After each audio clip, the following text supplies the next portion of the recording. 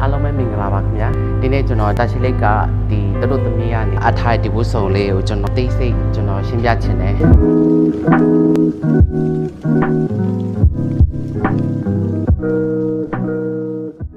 ဒါ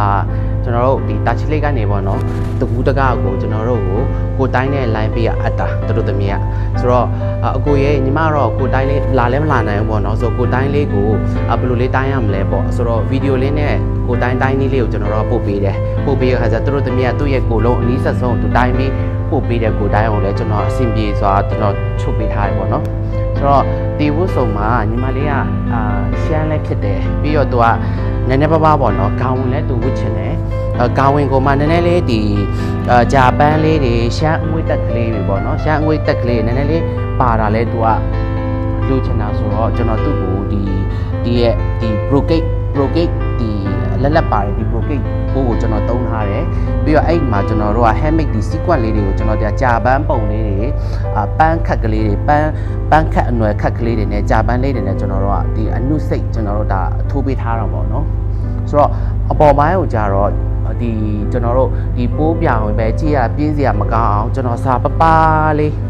နုတ်နုတ်လေးတွေကိုအာ drapé လေးလှုပ်ထားတယ်ဒါဆိုလို့စာအနားလေးတွေနဲ့တချမ်းဆောင်လေးတွေလည်းကျွန်တော်တို့အာကြည့်ရတာမပြင်းအောင်လို့ကျွန်တော်တို့လေဒီလိုစာလေးတွေကစားပြီးတော့ကျွန်တော်ဖန်တီးပေးထားတယ်အဲ့ drapé လေးပေါ်မှာမှကျွန်တော်ဒီ sequence အာတတဲလေးနုတ်နုတ်ကလေးတွေကိုကျွန်တော်တို့က